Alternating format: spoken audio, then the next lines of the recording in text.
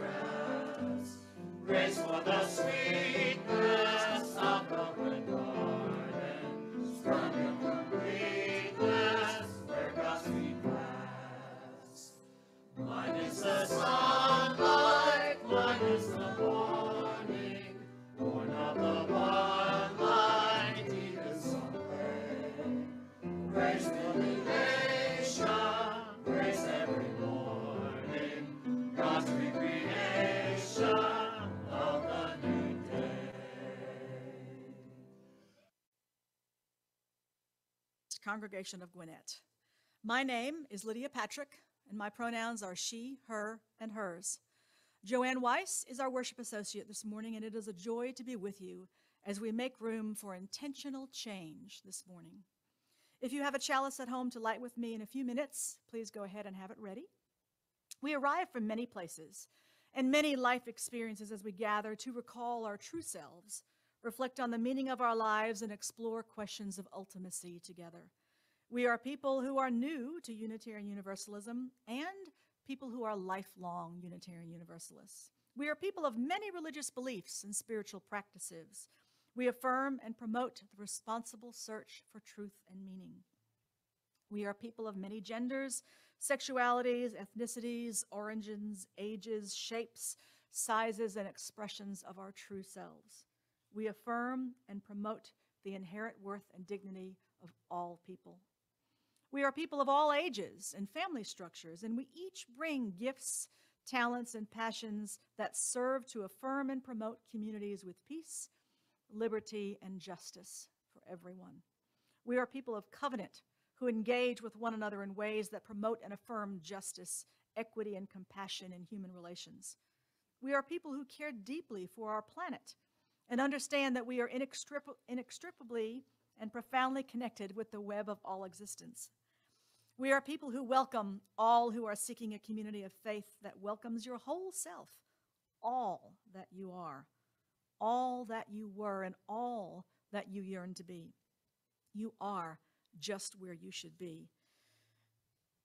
In a virtual room full of compassionate, thoughtful Unitarian Universalists ready to meet you where you are. You are welcome. You are home. If you are a newcomer this morning, we welcome you and hope that you will indeed find your spiritual home and journey here with us. We are becoming a radically welcoming sanctuary in a green space. We foster spiritual growth as we joyfully nurture connections and community within our walls and beyond. If this is your first time here, I encourage you to come back, join us several times, experience the full flavor of this congregation and this faith tradition, especially when we start meeting again in person. Encourage you to come, be with us, be curious, courageous, and compassionate.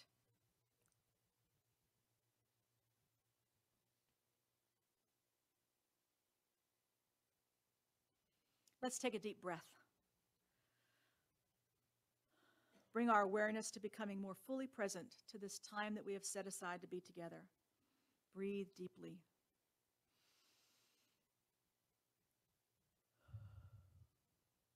As sound vibrates through us and around us, may we be reminded of how deeply and profoundly interconnected we are with one another. May we set our intention on all humanity, all beings, all living things, and all the stars in the cosmos.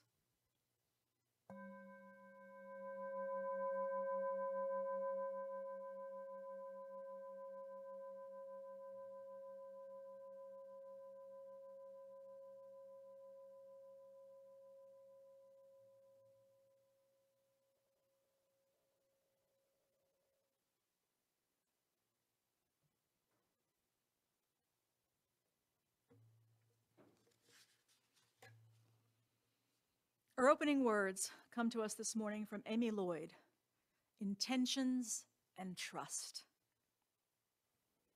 Today, I want to greet joy without a trace of suspicion. I want to open my eyes to the light without a blink of dread.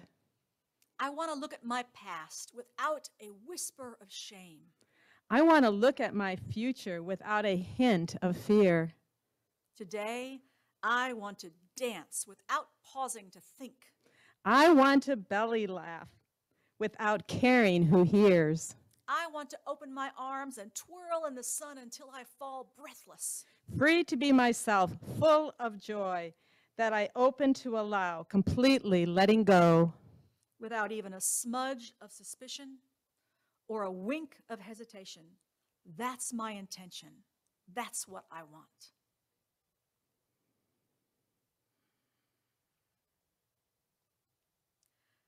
Our chalice lighting this morning comes to us from Lois Van Leer. It's entitled On the Brink of an Intentional New Year. We light this chalice on the brink of a new year, letting go of what has been, open and hopeful for what may come, renewed, restored, ready to live life fully anew. May we move forward with intention. And now I think it's time for our Wonder Box. I'm going to ask Joanne to open it for me since she's so much closer than I am.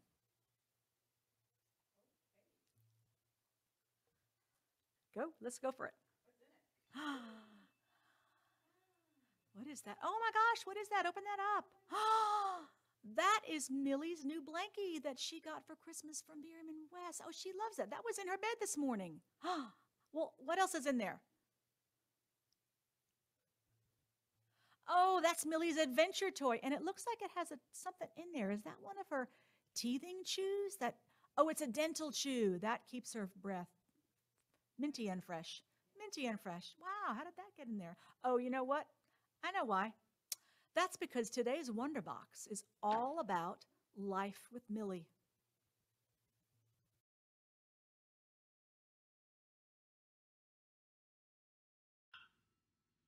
I was not ready for another dog. For the last 38 years, we had, give or take, three children and eight fur babies in and out of the house. With retirement, I was expecting some anonymity and extended hours for self reflection and thought. What if there is a dog out there that needs a forever home? Bob asked. We have never not had a dog, Bob stated. You might be lonely at home by yourself during the day, Bob hinted. It can't hurt to look, Bob said, and we might be able to give a good home to an animal that needs one, Bob suggested. And there was my downfall, my undoing, my restart, my looking outside of what I currently wanted to what I knew was the right thing to do and what I needed to do. Well, that's what I told myself. Lois Van Leer for Chalice Lighting for a service December 31st last year said this We light this chalice on the brink of a new year, letting go of what has been, open and hopeful for what may come, renewed, restored, ready to live life fully anew. May we move forward with intention. With regard to Ginger Crisp, now Millie, this is what I would have said on December 29th, 2019, our gotcha day.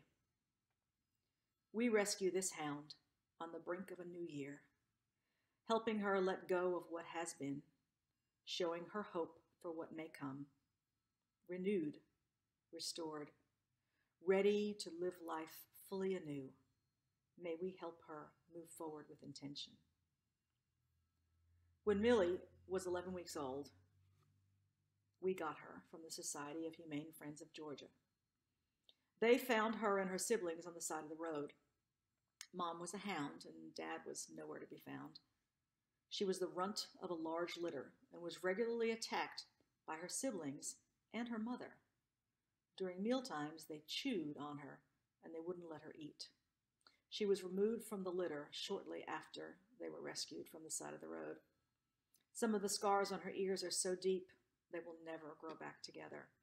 She was really one scared little puppy. Our intent was to help her find peace and love in her forever home. We renamed her Millie because of her calm and unassuming nature. Like chamomile tea, we thought. Millie. We quickly learned that her calm and quiet nature was mostly because she was just terrified. She came to us with several infections and was on meds for a month, which required us to gather her poop, bag it, and toss it so it would not be absorbed into the ground in the backyard and spread. As unpleasant as that was, it was a constant reminder of the work that still needed to be done. She stayed in her crate all the time, even though we never closed and locked her in it. She only poked out far enough to eat and then retreated back in. If we got her out of the crate to clean it, she went under the table or behind the couch. It was weeks before we could get her to come out of the crate on her own for any reason. We always had to reach in and get her. We loved her. We gave her bruised ears special attention and gentle pets. It was clear to us that she needed lot more, lots more time to feel safe and find her own place with us. And when she did finally come out, we celebrated. Another one?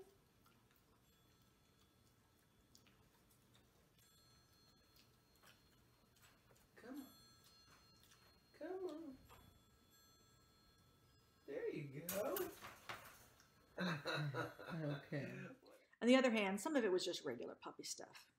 Navigating the deck steps, going to and from the backyard, feeling safe to walk around on her own, inside and outside, navigating a walk in the neighborhood, introducing her to family members, and toys. We knew, though, from the very start that she needed time and space to feel that sense of belonging and being wanted. And we worked intentionally to give her just that. We read books about it. We watched videos about humane and fair ways to navigate home life with a rescue. We didn't make her like us. We didn't raise our voices and said no. We corrected with redirection and distraction and rewarded small victories. We gave her a schedule. We took her out every hour on the hour, and we praised her all the time. We didn't fly off the handle when she did puppy things like chew up a pillow or pull on her leash. We approached her quietly and calmly.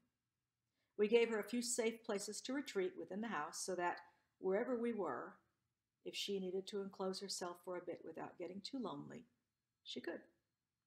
Her crate is her number one spot. She also likes the back stairwell. She has a pallet on the landing and a big bed in our bedroom. When strangers are in the house, she moves to the back stairwell. When the weather is bad, she goes to her bed upstairs. If the TV is too loud, she moves to the landing. Her number one safe retreat, though, is always her crate. We've seen subtle changes over time. She has started to enjoy the backyard and wonder about wonder what's happening on the other side of the fence. She comes to sit, forget it for a treat. She goes for short car rides, and she loves absolutely loves Funny Bones Doggy Daycare. Sometimes with her, it's two steps forward and one step backward, but at the end of the day, she's ours. She fills our hearts. The kids, all adults now and on their own, and some of them with their own fur babies, say that I love her more than I did them. It is not that. They always have my heart. But with Millie, I knew up front what her struggles would be and prepared myself for intentionally helping her face them, overcome old hurts, and helping her feel like she had found a forever home. And I believe that in some pretty distinctive ways, she has helped me understand the reality of needing to be aware of those struggles in others as well. Because fear resides in all of us, and living with intention does not exclude that, but often requires facing it head on. What I have learned from these past two years with Millie is that sometimes helping someone else find their intention, their peace, their place of calm, their purpose is what gives meaning to mine. Please sing with us now hymn number 23, Bring Many Names. In his discussion of this hymn, the author, Brian Wren, said, If the human race is created in the image and likeness of God, it follows that both femaleness and maleness reveal the divine. And since we are not static, but having a changing life cycle, both young and age also give the glimpse of God. Bring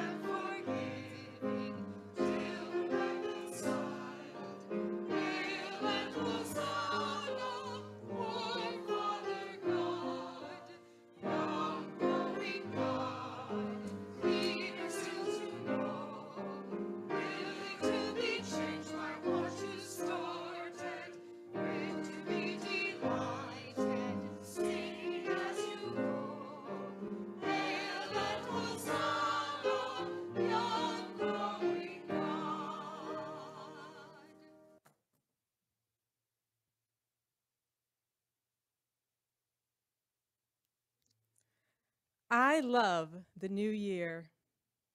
Yes, the days are short and the weather can be cold, wet, and downright miserable.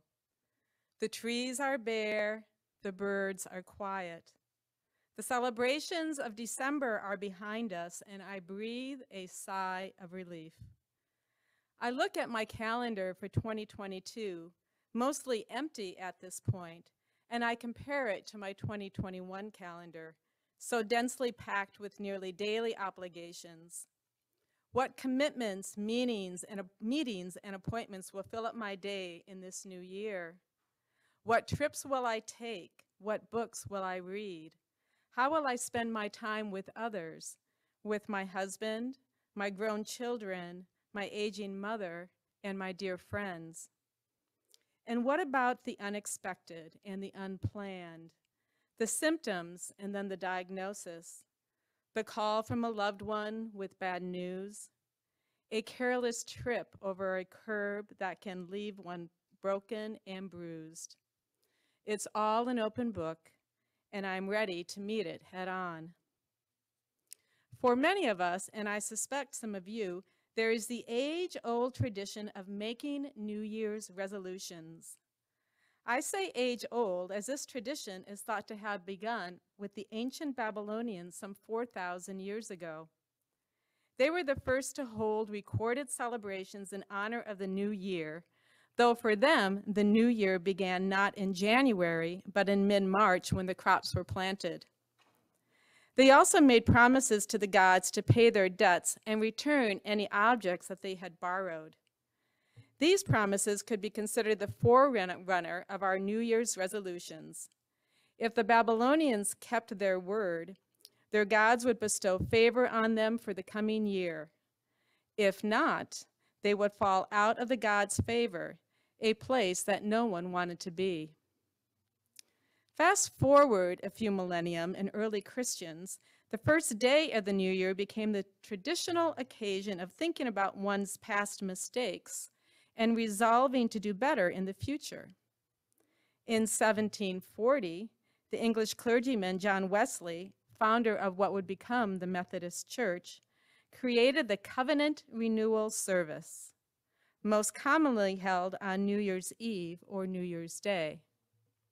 Also known as Watch Night, they included readings from scripture and hymn singing, served as a, which served as a spiritual alternative to the raucous celebrations normally, had, normally held to celebrate the coming of the new year. Despite the tradition's religious roots, New Year's resolutions today are mostly a secular practice. Instead of making promises to the gods, most people make resolutions only to themselves and focus purely on self-improvement, which may explain why such resolutions seem so hard to follow through on. According to the website statisticbrain.com, as many as 45% of Americans make New Year's resolutions, but only 8% are, at, 8% are actually successful in, in achieving their goals. But that dismal record probably won't stop people from making resolutions anytime soon. After all, we've had about 4,000 years of practice.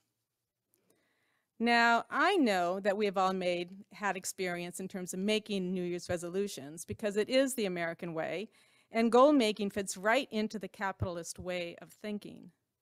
However, as an older adult, I abandoned this practice long ago, mostly because it didn't work. In writing this, this reflection, I quickly Googled top 10 New Year's resolutions, and what I found is about what one would expect. Exercise more, lose weight, get organized, learn a new skill or a hobby, live life to the fullest, save more money, spend less money, quit something, fill in the blank, smoking, drinking, checking your phone every five minutes, spend more time with family and friends, travel more, and read more. I would bet that every person that is listening to this service has aspired to accomplish at least one of these things at some point in his or her or their life, whether it's because of a New Year's resolution or just a realization that something in their life needs to change. Of course, resolutions can be downright funny too, such as, I will watch more cute kitten videos on YouTube. I will stop writing emails to my spouse.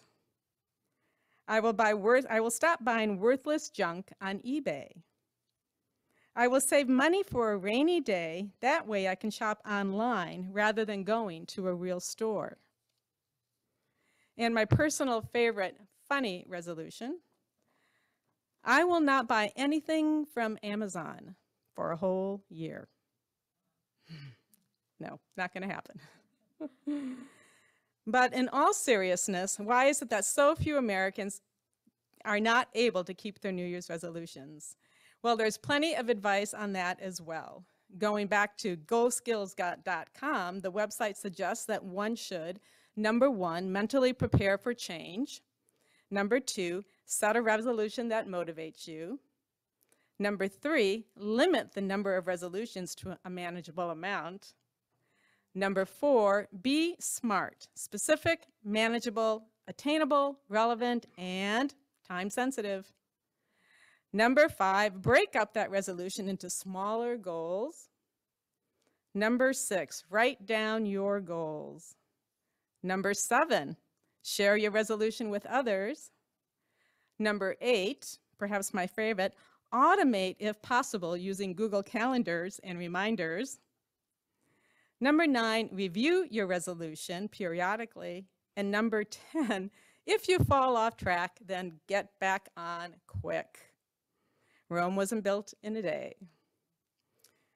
So, is it any wonder why so many people fail at New Year's resolutions?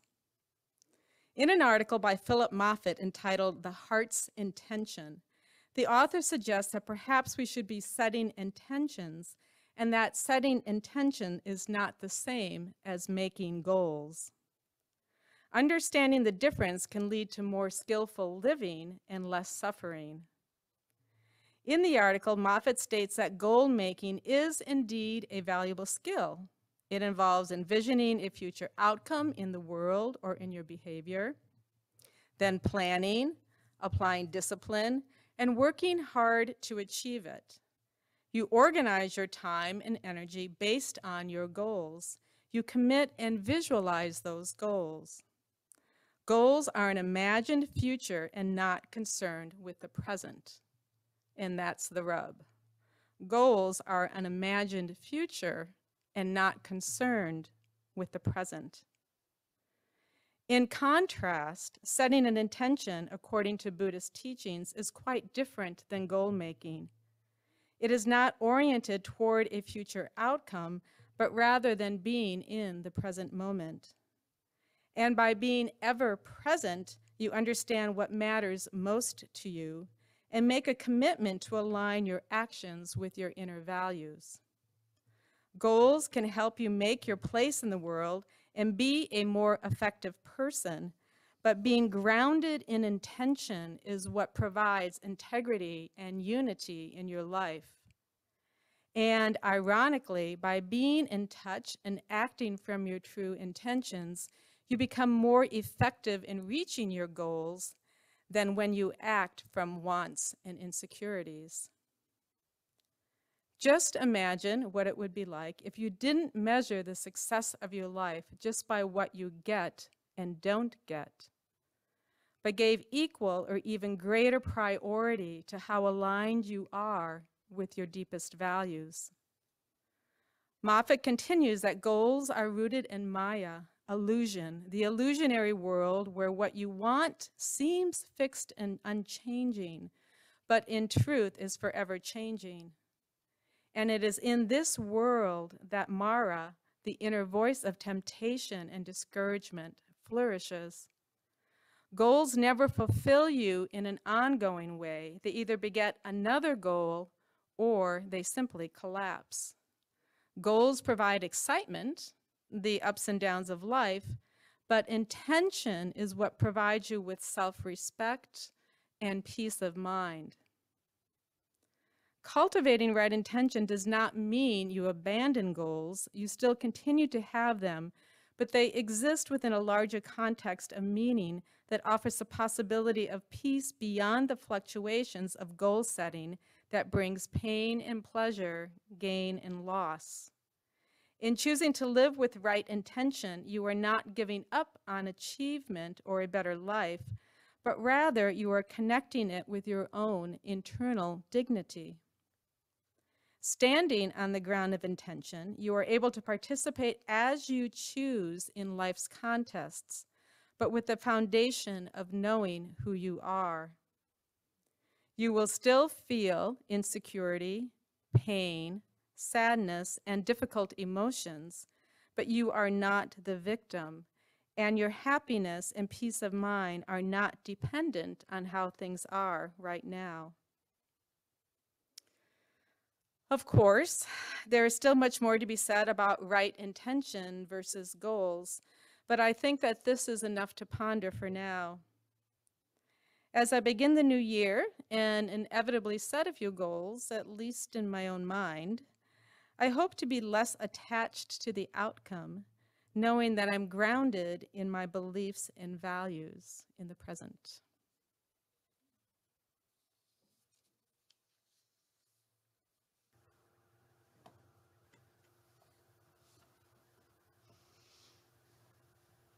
Join us in singing Gather Around the Christmas Tree. Or the choir. The choir is going to be singing. Thank you.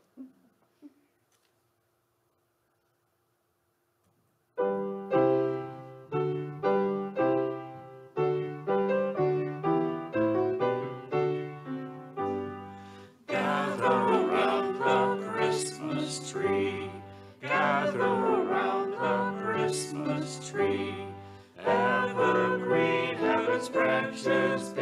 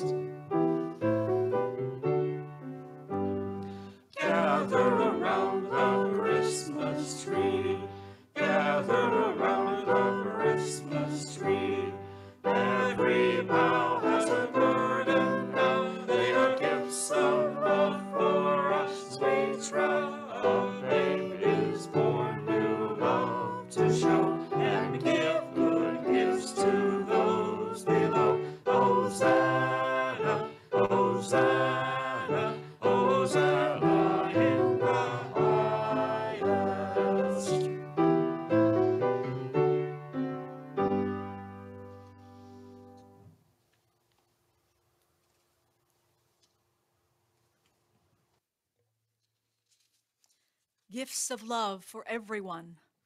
Hosanna in the highest, indeed. Thank you. In my description for this service, I said, in order to greet joy without a trace of suspicion, we've got to know what we are about. Looking forward sometimes means coming to terms with the present and saying goodbye to the past. In the Wonder Box, I talked about my intention to make a forever home for Millie. I also said that over the last 38 years, give or take, we had eight fur babies make their home with us. I can't say, in all honesty, that my intention was the same for any of them. I am not sure, in all truth, if I had any intentional plans with them other than to have great pets to love and help the children learn about responsibility and kindness. Bob used to say that I could walk in the front door without even taking a step and smell an accident and identify which dog had done it and which room it had happened in. That was the extent of my intention, I felt like many years with, those chil- with our children and those pets all growing up together. Bob grew up with pets. My family had one childhood pet that I remember in the traces of my early years, and I was the youngest of four children. She was a Heinz 57, if you will. When I see photos of her, she looks like a mix of some kind of Australian Shepherd and a Collie, some kind of breed in between those two. One summer, my dad said that she had gone away. Her name was Pudgy, Pudgy Wudgy Walskajolski. He was probably saying that to me to try to save me from the pain of her death, as I'm sure she was already very old before I was old enough to know and love her. I think there may be one or two photos of me with her, and that's it. And after that, the circumstances in our household changed such that having and caring for pets successfully was just not possible. I share that to let you know that this web of dignity, empathy for others, and compassion was something that I had to grow into and claim for my own. The spirituality of my childhood was not one of compassion and community, but of sharing the truth of God's word and admonishing sinners of their errant ways and offering to pray them back to the cross. I grew up to be kind and obedient above everything else, not necessarily fun loving and truly compassionate for the suffering of anybody else. Leslie Jamison says that empathy isn't just something that happens to us, a meteor shower of synapses firing across the brain. It's a choice that we make to pay attention, to extend ourselves. It's made of exertion, that dowdier cousin of impulse. Sometimes we care for another because we know we should or because it's asked for, but that doesn't make our caring hollow. The act of choosing simply means we've committed ourselves to a set of behaviors greater than the sum of our individual inclinations. This, con- this confession of effort chafes against the notion that empathy should always arise unbidden. That genuine means the same thing as unwilled. That intentionality is the enemy of love. But, the author states, I believe in intention and I believe in work. I believe in waking up in the middle of the night and packing our bags and leaving our worst selves for our better ones. In Joanne's reflection, she talked about the difference between setting intentions and making goals. Goals can be part of a checklist and once done, checked off the list. Whereas intentions require you to be, to be present for what you intend to do. She said, in choosing to live with intention, you are not giving up on your goals, but more connecting them with the foundation of who you are. Your intentions connect you to what you believe. And that, I think, gives them power and deeper meaning for each of us. Deepak Chopra says conscious change is brought about by the two qualities inherent in consciousness intention and attention. Say that again intention and attention. Whatever you put your attention on will go stronger in your life. And whatever you take your attention away from will wither, disintegrate, and disappear. So, what I would suggest for us today, and I think that everyone around would agree, that we put our attention on our intentions. As I prepare to do a service, I always pray for openness, for fresh inspirations and insights, and a deeper meaning for my own life as I share my journey with this beloved community. So, yesterday, this quote from Neil Gaiman showed up on my Instagram feed as part of what I, a group that I follow called Whispers of Positivity. The quote is called Positively Present. I hope that in this year to come, you make mistakes. Because if you are making mistakes, then you are making new things, trying new things, learning, living, pushing yourself, changing yourself, changing your world. You're doing things you've never done before. And more importantly, you're doing something. So, what are our intentions? As part of this community, I would love to see each of us set an intention to be more present in our circle of love. We are small in numbers, this is true, and we are trying to stay afloat in an ongoing pandemic. This is also true. There isn't a group or committee in our wider circle that is not in need of some membership and participation. Yet, I dare say we are all members of something, in this community. And I am here to give an unapologetic plug for the worship committee. We need service leaders, we need worship associates, we need more lovely voices in the choir, which I'm also a member. We need to hear you.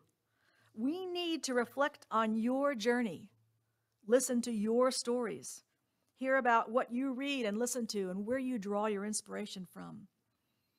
And as I look out over the tech team, whose names are given in gratitude every week for the very hard work and minute details they pay attention to, so that you can see and hear us right now. We're trying to make our budget through our pledges.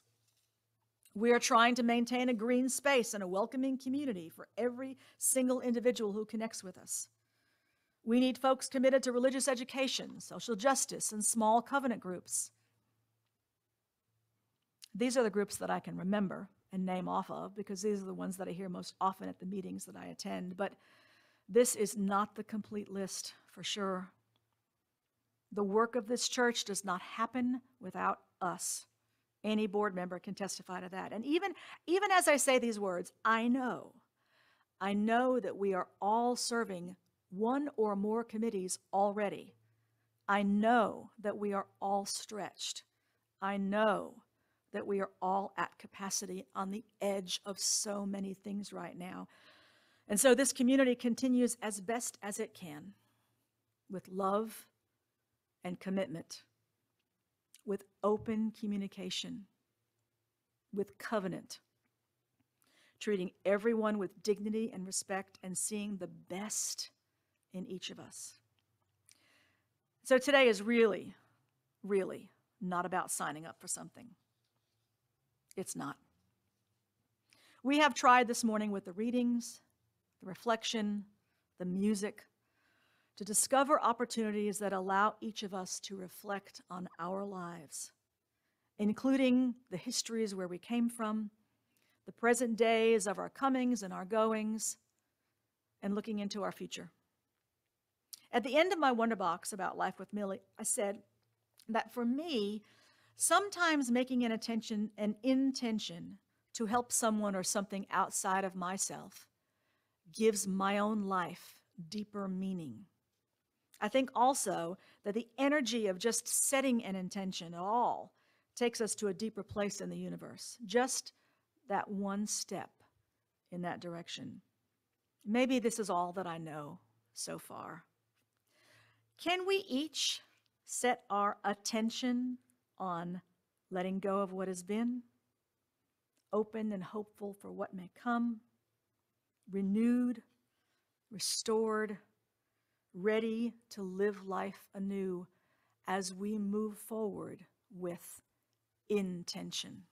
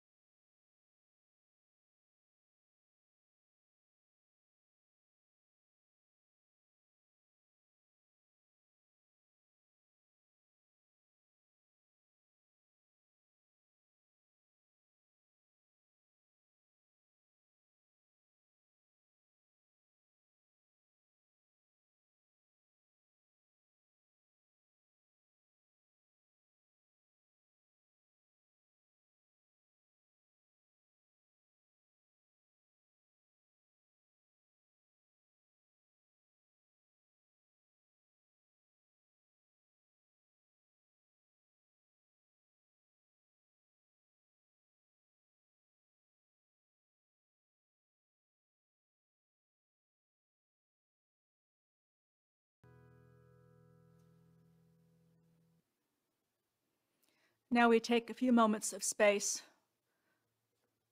to think about our intentions and our prayers for this morning. The prayers of compassion today come to us from Vanessa Southern. She is the author of the Unitarian Universalist Association's meditation manual called This Piece of Eden. And I would like to add a response to our prayers this morning with the words, Even this is enough. Let's practice it together one time. Together we say, Even this is enough. So much undone, so much to do, so much to heal in us and the world. Together we say, Even this is enough. So much to acquire a meal, a healthy body, a fit one, a lover, job, a better job, proof we have and are enough just around the corner of now. Together we say, even this is enough. And up against it, the reality of all that falls short in the limits of today, we honor the limits. If, if your body won't do what it used to, for now, let it be enough. If your mind won't stop racing or can't think of the word, let it be enough. If you are here utterly alone and in despair, be all that here with us. Together we say, even this is enough. If today you cannot sing because your throat hurts or you don't have the heart for music, be silent. When the offering plate goes around, if you don't have the money to give or the heart to give, let it pass. Together we say, even this is enough. The world won't stop spinning on its axis if you don't rise to all occasions today. Love won't cease to flow in your direction, and your heart won't stop beating. All hope won't be lost. Together we say, even this is enough. You are part of the plan for this world's sal- salvation. Of that, I have no doubt. The world needs its oceans of people striving to be good, to be good, to carry us to the shores of hope and wash fear from the beachheads and cleanse all wounds so that they can heal. Together we say, even this is enough. But oceans are big, and I am sure there are parts that don't feel up to the task of the whole some days. Rest, if you must, then, like the swimmer lying on their back who floats, or the hawk carried on cushions of air. Rest in pews made to hold weary lives in space carved out for the doing of nothing much more than just being. Together we say, even this is enough. Perhaps then you will feel in your bones, in your weary heart, the aching, healing sense that that is enough. Even this, that we are enough, that you are enough. Together we say, even this is enough. And we light one more candle for the joys and sorrows held deeply in our, in our hearts. Together we say, even, this is enough.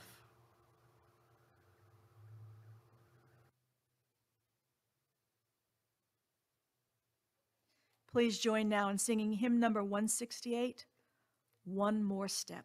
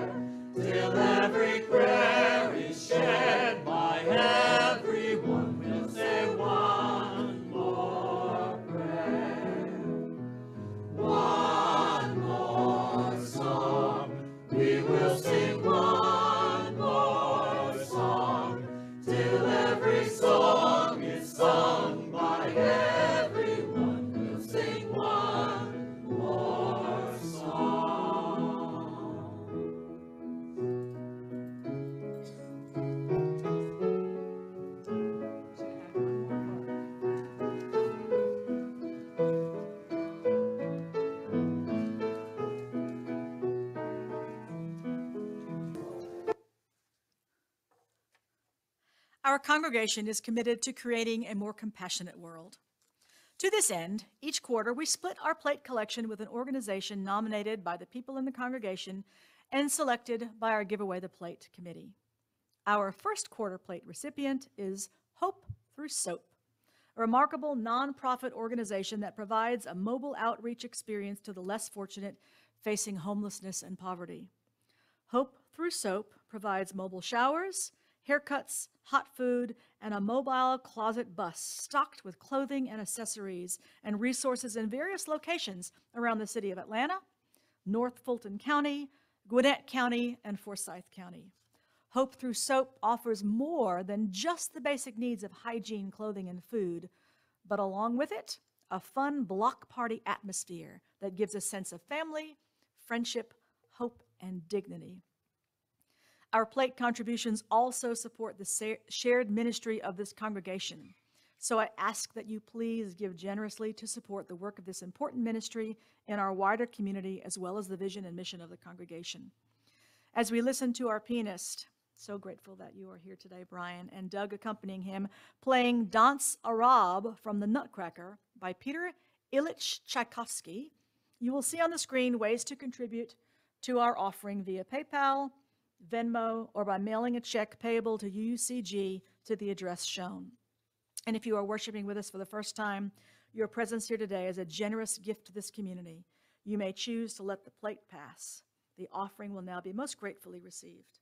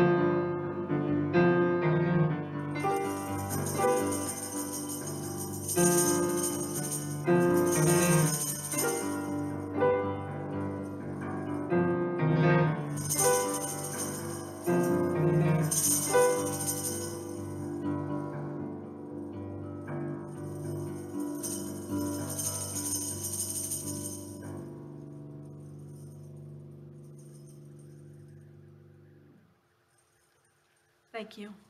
May the generous gifts received this week move us towards realizing, realizing our vision of a more connected and compassionate world.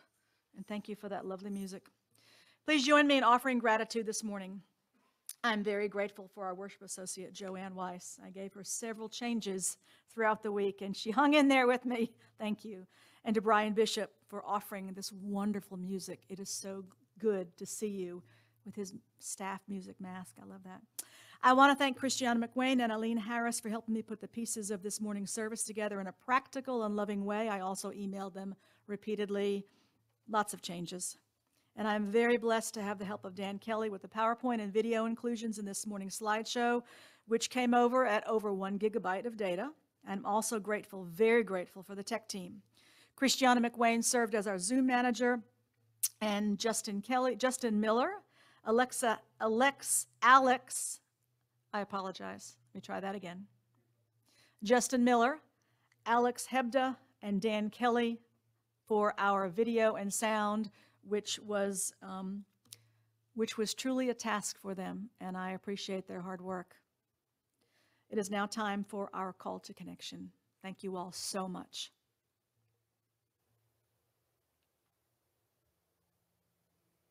Yes, now is the time for our call to connection within our congregation and beyond our walls. If you are new to our community, there are lots of ways to stay connected through email, through our website, through Facebook, through Twitter.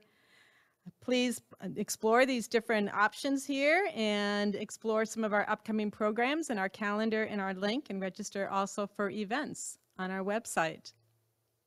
Would you like to watch past UUCG services? Well, we've got a YouTube channel for that, and there's our address there. The first Sunday of each month, which happens to be today, we collect money or we collect food and other items for the Lawrenceville Cooperative Ministry. Uh, we are here from 2 until 4, right out in the driveway, and you'll see a list of items that are currently needed by the Lawrenceville Cooperative Ministry. Engage your search for truth in meaning, exploring our faith development resources online for inspiration and information about our UU values and faith that goes beyond our Sunday mornings. And finally, check our news, our e-news, our UUCG website and calendar for other ways that you can stay connected. Um, all of these currently are meeting virtually with the exception of the Covenant Choir, which is meeting on Tuesdays at 7 p.m. So lots of great things here that you can check out.